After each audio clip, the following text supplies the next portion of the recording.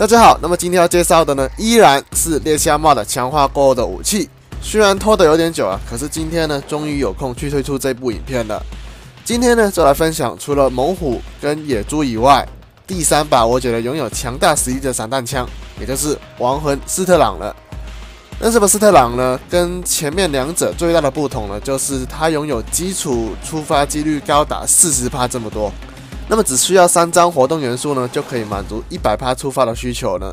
所以呢，我们可以更加的去集中在特定的触发，也就是在腐蚀或者是其他元素方面的。那么这一张猎象帽的呢，也跟之前的野猪一样，是走装填速度这个路线的。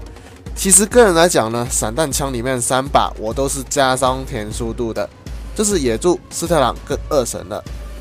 那么这些武器呢，其实都是比较需要频繁去进行换弹的动作。我觉得洗出装填速度呢是非常有感的，毕竟洗出来之后呢，可以省下不少的 mod 空间，可以说是尤为的明显了。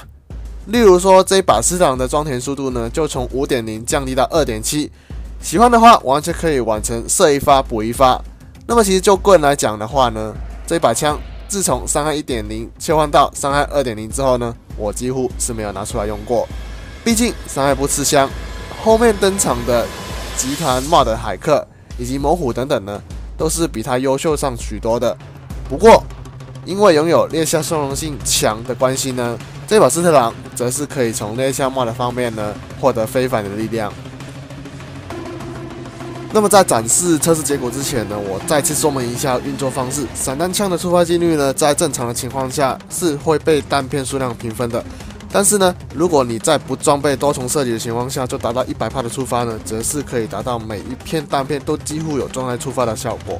相反，如果只用多重来达成的一百帕，则是完全没有效果，因为那不是真正的一百帕触发。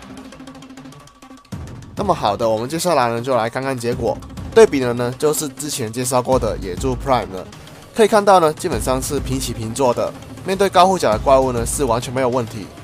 顺便呢，再次在这里回应一下，基本上如果连高护甲的怪物都杀得死，你还紧张其他怪物吗？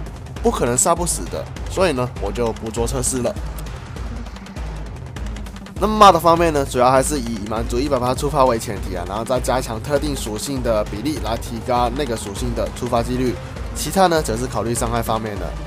要知道的是，一张散弹枪的紫帽，光装填速度呢，就快可以顶替两张装填 mod 的效果了。所以呢，CP 值真的是高的没话说啊。好的，那么总结一下呢，斯特朗呢是值得投资猎下 mod 的。那么建议大家呢，还是看看有没有机会拿到装填的，效果真的是很棒，可以塞很多很多的伤害 mod 来顶替。不过当然呢，斯特朗的使用方式跟其他武器呢都有一点不同的地方，可能你会不喜欢它也不一定。不过它可以达到的高度，今天已经证实了是可以很高的，所以有爱就投资吧。好了，那么今天的影片呢就到此结束，我们下一部影片再见喽，拜拜。